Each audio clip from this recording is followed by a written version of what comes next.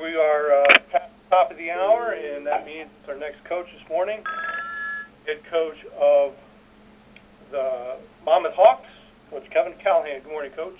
Good morning, Mark. How are you today? Doing fine. Appreciate your patience as we uh, kind of wing it today without our little service kind of keeping us updated, but glad you were on the call. Uh, coming off a tough loss at Charleston Southern to fall to 0-1 in conference, but you're back home this weekend hosting Liberty. If you could open up, talk about the game against the Buccaneers. Third, second straight year you guys played in a rainstorm. Uh, then we'll start taking questions. Well, yeah, you know, uh, you know, certainly, uh, you know, Charleston Southern's a, a very good football team. They're, you know, extremely well coached, and uh, you know, their, their kids play very, very hard.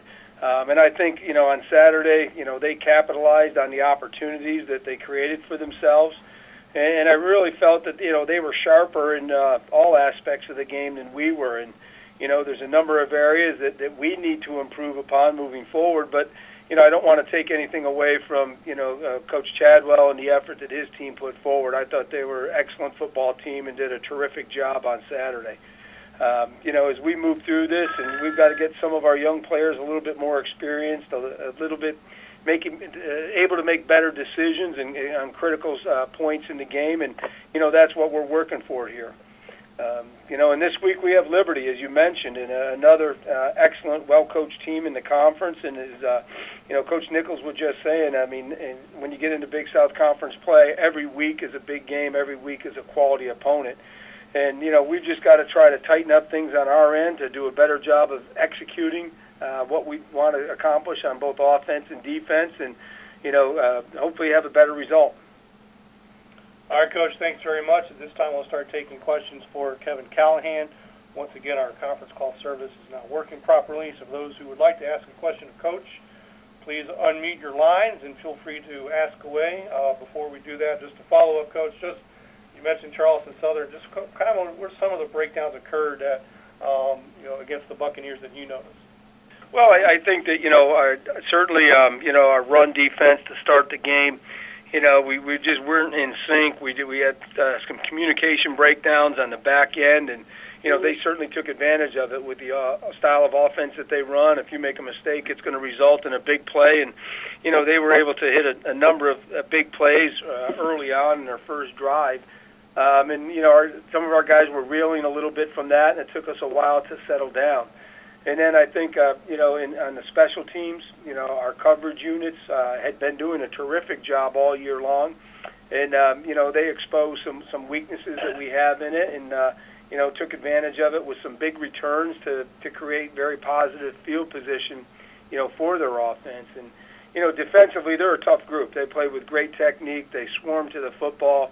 Um, they they don't make a mistake, and they make it very difficult to to do some of the things that you like to do. All right, Coach, thanks. At this time, we'll move the questions for you. So those who wish to talk to Coach, I'm anticipating a few questions, so just uh, uh, we'll try to do this as, as, as best we can. Just go ahead and ask your question of Coach, and obviously uh, introduce yourself first. Cal, it, it's Josh. How are you? Good, Josh. Um, the fact that you guys were able to go down there last year, um, play them tough, the game was tied after three quarters. With that kind of effort, leaving there, was there at least some sense that maybe the gap between Monmouth and, and teams like Liberty is not as wide as maybe you once thought it, it, it was? Well, I, I think you know the experience of, of playing at Liberty. Actually, the last two seasons, 2013 and 2014, is you know taught our players that you know one they're they're a, a quality football program. Uh, they're very talented athletically and they're well coached.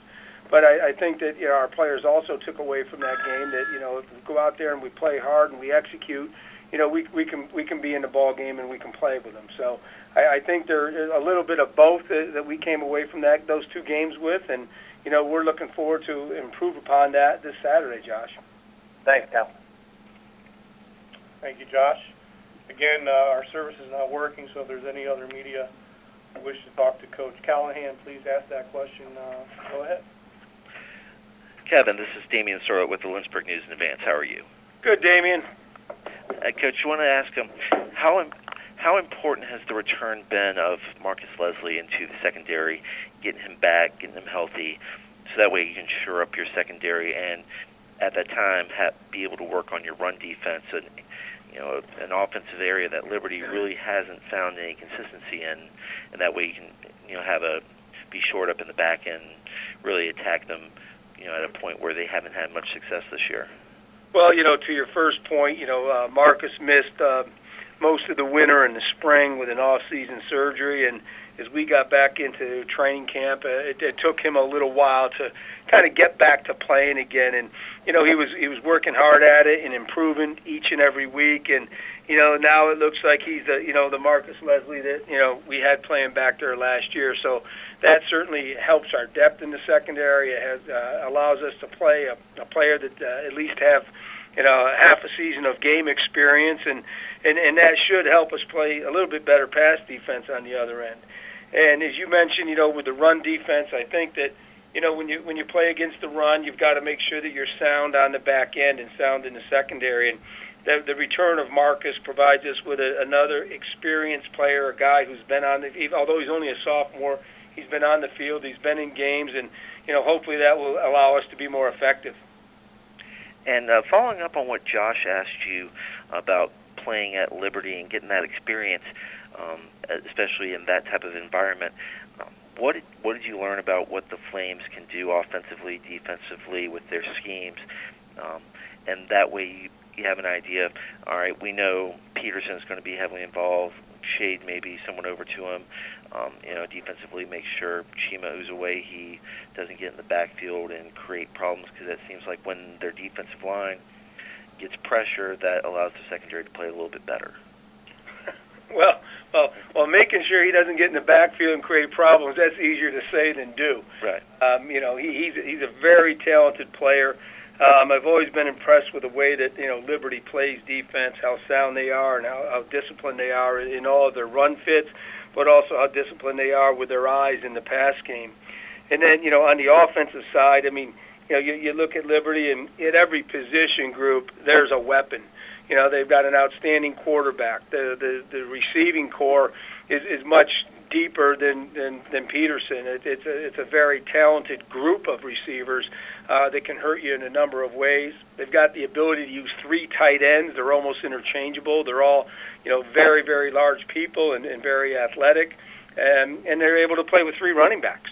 Um, and, and they can really just roll those guys through and keep them fresh. So, you know, at every point on the field, uh, from an offensive standpoint, you know, they, they have weapons and they have the ability to, to stress your defense at every point. And what's um, what's one thing you're looking at defensively that you could could do so that way you're not stressed and that way make a game out of it last like like last year where you're going into the fourth quarter with an opportunity to to win. Well, I, I think you know you know, we've got to make sure that, you know, we're doing, uh, obviously it starts with doing a good job against the run, but in, in doing that, you've got to make sure that you're not, you know, uh, uh, giving up opportunities in the pass game. Uh, you know, Woodrum is an excellent quarterback. If you give, if you're trying to cheat and get somebody involved in the run game, he is going to take advantage of it without a doubt. Um, he, he's excellent at throwing the ball, and as I mentioned before, you know, they have receivers who, who will get open and have a good feel for what they're trying to do, and you know, they they stress you on all levels. So it's not like you can cheat in one area to help defend the other area. Kevin, I appreciate the time. Thank you very much. Okay, thank you. Thanks, Damian. And one last chance for questions of Coach Callahan. Again, uh, feel free to unmute your lines and uh, ask away, and then uh, we'll wrap up with Coach.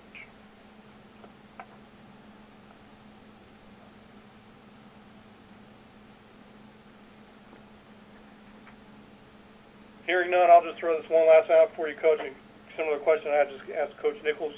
Getting to host a ranked team, just kind of you know the excitement around that and the opportunities it presents, especially with it being a conference game.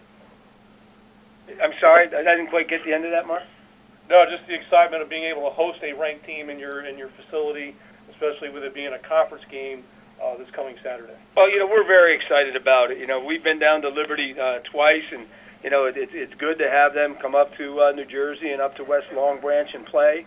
I know our fans are excited to, you know, to see, uh, you know, them come in here and play. Uh, you know, with the ranking that they have, and I know they'll probably bring a large number of fans with them as well. So it should be a great environment. All right, Coach. Well, that's all that we got for you. I appreciate your time this morning, and good luck uh, Saturday against the Flames. Thank you very much, Mark. Appreciate it. All right, and for those joining us late, Coach Gill will be available uh, later this morning, approximately 11:35, or once Coach Bohannon is finished with his time.